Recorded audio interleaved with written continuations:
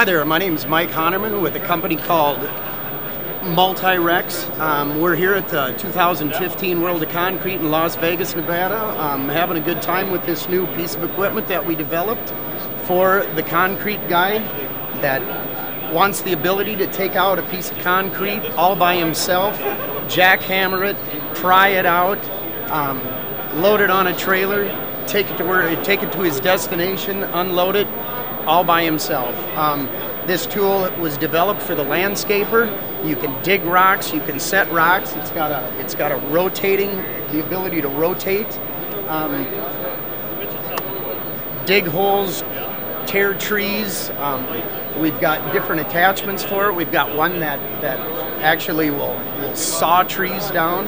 We've got a boom attachment. We've got a winch attachment. Um, just a just an all-around great great um, the, the ultimate boy toy for your skid loader. I'd like to thank you for your time. You can visit us at www.multirex.com. Thank you.